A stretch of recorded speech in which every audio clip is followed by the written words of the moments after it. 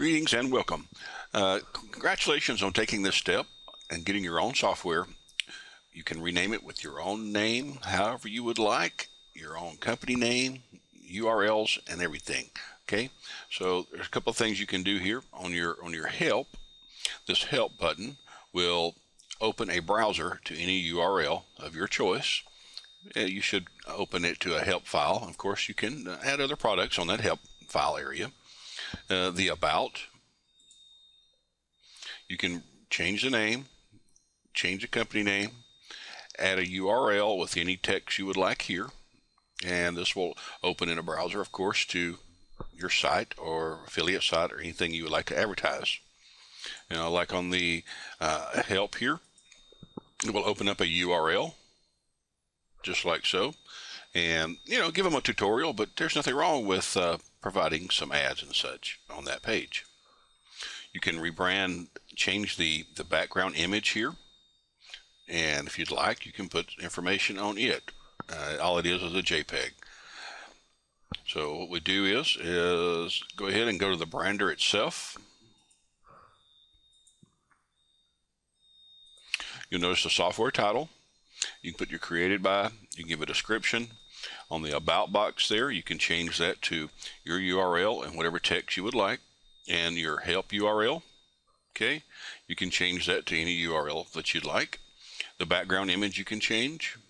And the cool thing is here, you can provide a registration code like I have done. And when they, you know, download the software, they're going to need this registration code. So what you do is you set up an autoresponder and you add the information in there. When they confirm, you send them the code to register it. If you do not want to use the code, you don't have to. Okay, you can just leave that unchecked like so. What I'm going to do here is pause the video and change some information here and show you how it works on the rebranding. Uh, hold on just a minute. We'll be right back. Okay, to make the video a little shorter, I went ahead and paused it and filled out some information here.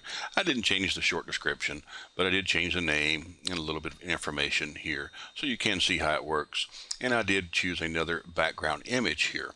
Uh, it may not fit perfectly, but the point is to show you what can be rebranded here. Okay, so what we'll do is, is we'll brand the software. We click brand, and it automatically brands it. So we do OK. Let's go back in and open the software. Okay, I've opened the software, and you will note that we've got the registration key here. As soon as you open it, it's going to pop up and ask you for the email and the actual key. So the email that was registered with and the key. And of course, uh, the if you don't have a key, if people click on this uh, don't have a key, they will be taken to this URL. Okay, and what you would do, of course, like I said before, you could set that up so people have to join your list to get the URL. Or you send them the code. However you'd like to set it up, pretty flexible.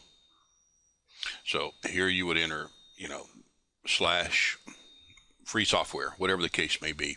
Put your form on it, have them confirm it and send them the code or have it confirmed on a, another page that appears, depending on how you set up your autoresponder. That's totally up to you. Okay, so we do OK. And this pops up, talks about it. There's the name that we that we did it. Uh, should have been Gone Mobile, but we're going GOM Mobile. I'm going to go close here. And you notice I put a an image back here in the background. It doesn't fit exactly right. You have to experiment around. I just threw this in to show you how easy it is to add a new image. And so on your, your help file here, if you go to help,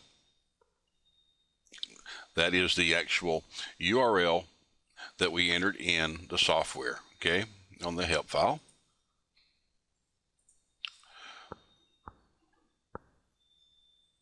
Here. Okay, and the about you see that it's already changed to your name and you, that's something that I wanted to point out here for you you have to keep the software title short because you notice that it cuts off. Okay, so you know just keep it keep it short. Keep it you know mobile site maker something like that. Of course, your name and the URL of your choice.